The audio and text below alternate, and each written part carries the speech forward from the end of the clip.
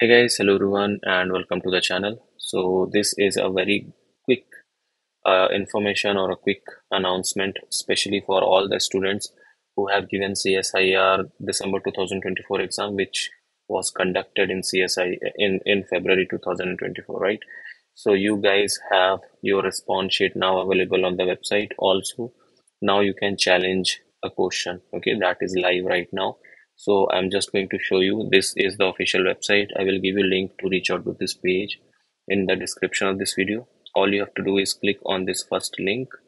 And if you click this you will be able to download this public notice which says that display of provisional answer keys and question paper with recorded response. That means your response whatever answer you have done uh, for challenge of joint CSIR UGC NET exam December 2024 it mentions that the exam which was conducted on 28th of February, 1st and 2nd of March, there were around 326 examination centers in 164 cities in the country and total 2,38,451 candidates have given this exam including all the subjects okay?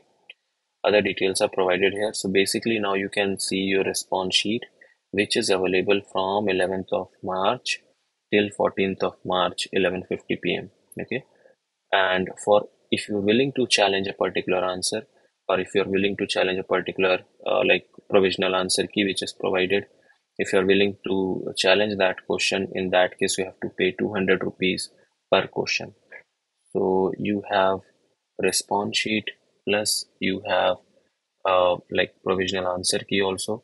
And if you want to challenge that you have to pay 200 rupees per question and that money is non-refundable okay? It is mentioned clearly that that money is not refundable. You won't be getting that money back even if the answer is correct okay? If the answer which you have provided is correct or not. So do let me know in the comment section if you think there is any question that needs to be challenged.